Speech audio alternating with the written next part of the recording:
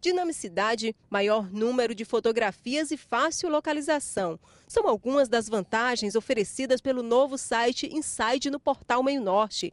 Entre muitas mudanças, o uso de um aplicativo vai facilitar desde o envio a visualização das fotos feitas nos eventos mais glamurosos e badalados do Piauí. O site está mais dinâmico, certo? Tem uma interação maior com o público através das redes sociais, como Instagram e Facebook. É, as pessoas estão tendo uma melhor visualização das, das fotos, né? Porque estão usando macroimagens, que é uma sensação mundial dos, dos maiores portais do mundo, certo? É, as pessoas poderão ver em tempo real o que acontece, né, nas festas através do Instagram, pois é, o pessoal do Meio Norte do portal criou um aplicativo que dá acesso, né, a, a essas fotos em tempo real. Então é mais ou menos isso, né, o que está acontecendo no portal da Inside.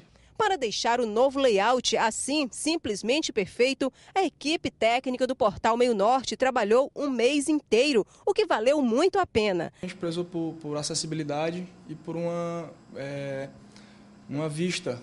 O usuário vê o, o site, uma coisa bem vistosa também, e uma coisa que seja rápida para o usuário e com uma interatividade boa que é isso que o usuário quer. Ele quer interagir e quer se sentir confortável acessando o, o, o site. Com, com um, um, clique você já está na galeria completa, você já, você já pode visualizar, ela abre numa, numa, numa tela toda para o usuário ver a, a, a foto bem, bem detalhada mesmo. Tudo isso para não perder nenhum lance? Nada.